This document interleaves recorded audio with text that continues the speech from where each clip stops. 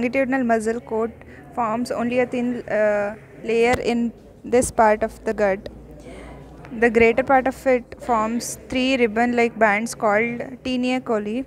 Proximally, the tenia coverage at the base of the appendix, and distally, they spread out on the terminal part of the sigmoid colon to become continuous with the longitudinal muscle coat of the rectum in the cecum, the ascending colon, the descending colon, the sigmoid colon, the position of the tenia are anterior or tenia libera, posterior medial or tenia mesocolica, and posterior lateral or tenia omentalis. But in in the transverse colon, the corresponding position of tenia are inferior, posterior, and superior.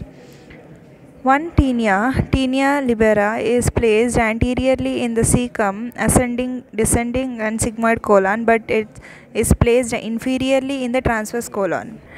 Second tenia, tenia mesocolica, is present on the posterior medial surface of cecum, ascending, descending, and sigmoid colon, but it is placed posteriorly on transverse colon at the site of attachment of transverse mesocolon.